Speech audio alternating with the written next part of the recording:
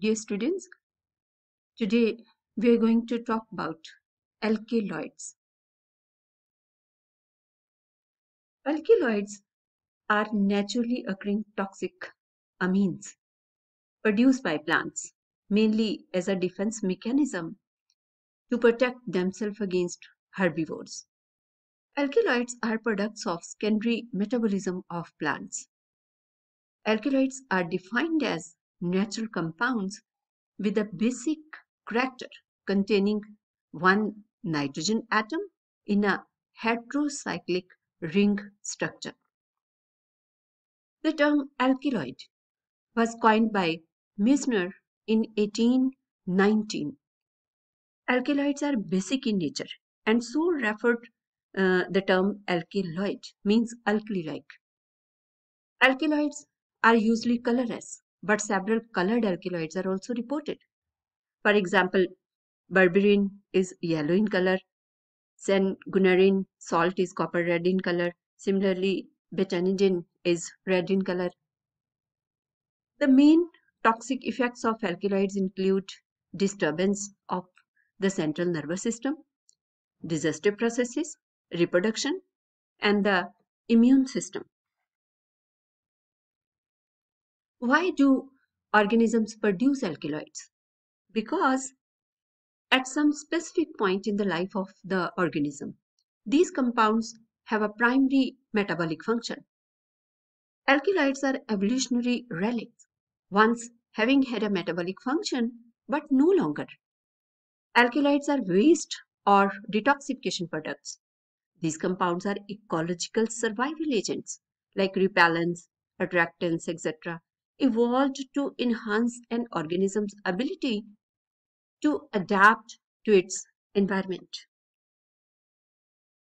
Next is distribution or occurrence of alkaloids.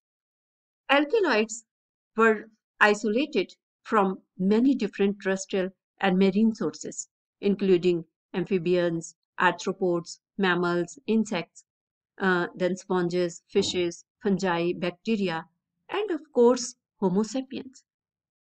Alkaloids are generally occur in all parts of the plant, but accumulated only in particular organ.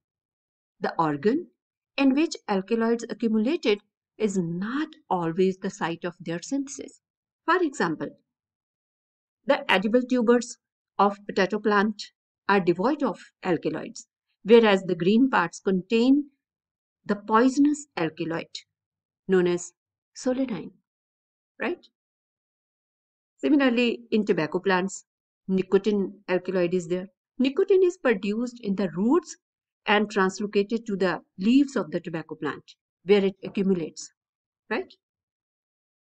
True alkaloids are rarely occur in lower plants. Nearly 300 alkaloids belonging to more than 24 classes are found in the skin of amphibians. Some indole and isoquinoline alkaloids were isolated from mammals, including mammalian morphine. Next is classification of alkaloids. First is taxonomical classification. Taxonomical classification is based on the distribution of alkaloids in various plant families like solanaceous alkaloids present in family Solanaceae or papilionaceous alkaloids present in family Papilionaceae, right? Sometimes they are grouped as per the name of grouped genus in which they occur. For example, ephedrine present in genus Ephedra, then cinchonine present in plant Cinchona, etc. Right? Next is pharmacological classification. This classification is based on the physiological action or uh, biological activity of alkaloids uh, on animals, like central nervous system stimulants or uh, depressants, then sympathomimetics, analgesics, purgatives, etc. Then chemical classification. Chemical classification is most accepted way to specify the alkaloids. Alkaloids are categorized into three divisions in chemical classification. First is true alkaloids. True alkaloids have heterocyclic ring with nitrogen. and uh, they're derived from amino acids. Then protoalkaloids. Protoalkaloids does not have heterocyclic ring with nitrogen and derived from amino acids. And last one, pseudoalkaloids. Pseudoalkaloids have heterocyclic ring with nitrogen and derived from terpenoids or purines, but not derived from amino acids. Then biosynthetic classification.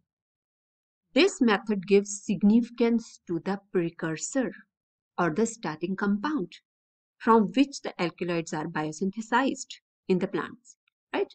For example, all indole alkaloids from tryptophan are grouped together. All alkaloids derived from amino acid precursors are grouped in the same class, such as ornithine-derived alkaloids, then lysine, tyrosine, phenylalanine, or tryptophan-derived alkaloids, etc. Next is biosynthesis of alkaloids. Biosynthesis of different group of alkaloids have been investigated to some extent using precursors labeled with radioactive atoms. Precursors like ornithine, tryptophan, phenylalanine, tyrosine, etc. Right? Ornithine uh, is an amino acid, is a precursor or starting compound of the synthesis of tropine alkaloids. Tryptophan is starting compound for the synthesis of quinoline alkaloids. Phenylalanine is starting product in most of the amino acid derived alkaloids like ephedrine. Tyrosine is the starting product of a large family of alkaloids, including isoquinoline or tryptophan and mevalonic acid are starting precursors in the biosynthesis of indole alkaloids, right? The alkaloids biosynthetic pathway vary greatly in different plants. Today we will discuss only three key reactions which form the cornerstone of the biosynthesis of alkaloids. These three reactions are number one, the Mannich reaction of a Schiff base with the nucleophile. Then second one is Pictet-Spengler condensation reaction. And third one is phenolic coupling reaction. When an aldehyde or a ketone condenses with an amine, an elimination of a water occurs. Just look at this reaction. When aldehyde or a ketone condenses with an amine and elimination of water occurs, the product which is formed is called Schiff base, right? This species is very powerful electrophile and uh, can attract a nucleophilic cation from any one of uh, a number of sources. When the Schiff base is attacked uh, intermolecularly by an aromatic nucleus, the product is often either a tetrahydroisoquinoline or a tetrahydrobeta carboline, right? This process is known as Pictet-Spengler reaction. Then phenolic coupling reaction. When phenolic hydroxyl group is oxidized by loss of a hydrogen radical, a highly reactive radical intermediates are formed, right? A, B, C. These are radical intermediates, right? Which can be trapped either internally or by another radical containing unit to form several different products, right? These are the different products, including those derived from carbon-oxygen bond formation. This product is formed. Carbon-carbon bond formation at the positions ortho when ortho ortho then this product is formed for ortho para this product is formed or para-para. Right? This seventh product is formed. These are the different products, right?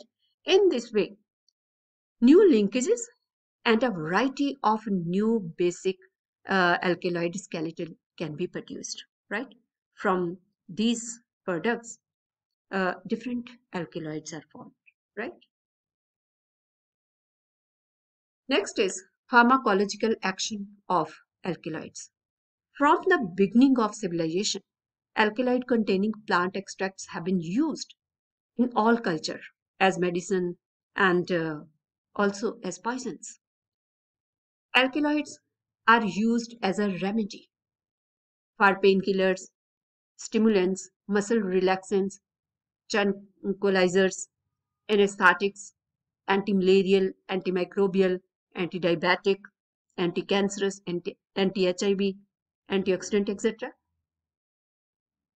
When alkaloids with narcotic or analgesic properties have found application in medicines, for example, morphine, atropine, and quinine. Some alkaloids served as model compound for modern synthetic drugs, whereas several are abused as illegal drugs like cocaine, right? A number of alkaloids are too toxic for any therapeutic use. For example, coniine and strychnine, right?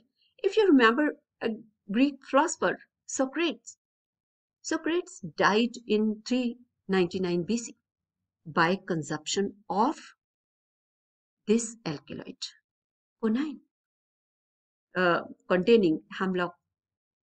It is from um, uh, Conium maculatum plant, right? So this is all about alkaloids, just an overview.